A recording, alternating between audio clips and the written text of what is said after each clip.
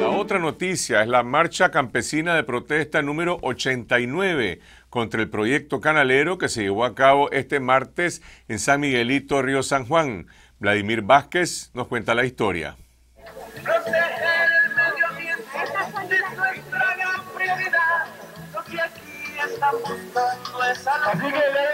Al conmemorarse cuatro años de la aprobación de la ley canalera, miles de campesinos marcharon demandando su derogación.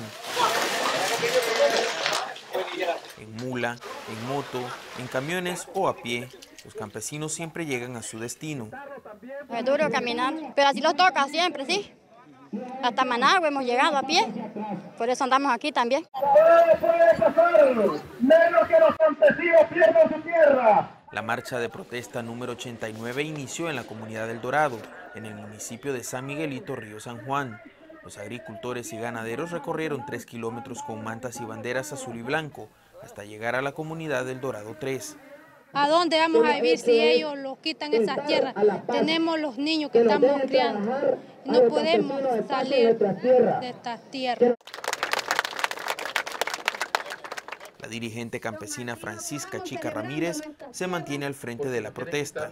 Decepcionante, porque según el gobierno eh, es una persona que viene para velar por nuestros derechos, para cuidar por nuestros derechos y aquí en Nicaragua ha sido el gobierno que nos ha mandado a violentar nuestros derechos. Eh, ha sido una lucha de mucho sacrificio, pero ha valido la pena. Esta vez no hubo represión policial, pero José María Calderón recuerda que hace dos años perdió un ojo por un disparo policial en una marcha de protesta en el Tule. Así, tuertito como me dejaron, pero también este caprichoso en la lucha, porque nosotros no le andamos haciendo mal a nadie, sino que reclamando nuestros derechos.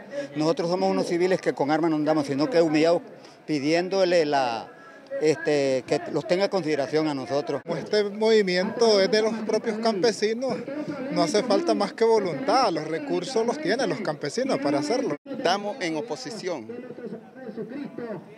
en contra de la ley 840 que han hecho para expropiarlos a nosotros como dueños de los terrenos, para construir ese canal. Es algo que los viene a perjudicar directamente donde nosotros de eso comemos y bebemos de lo que nosotros cultivamos.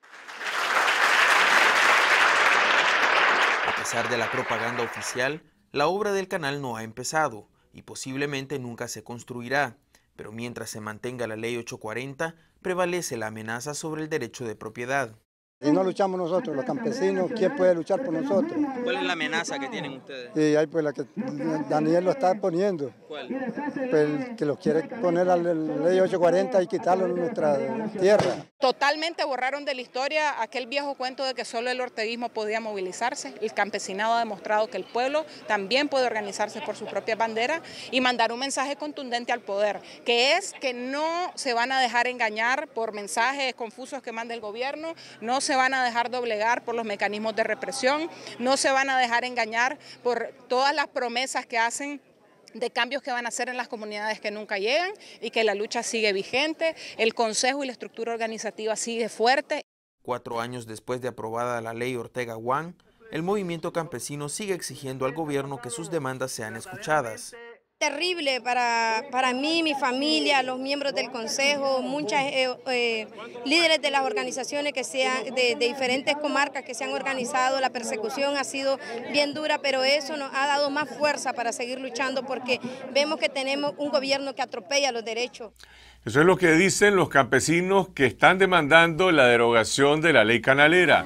Gracias por ver este video. Si les interesa conocer más sobre el periodismo independiente que realizamos, los invitamos a suscribirse a este canal para recibir todos los reportajes y entrevistas de esta semana, esta noche y confidencial.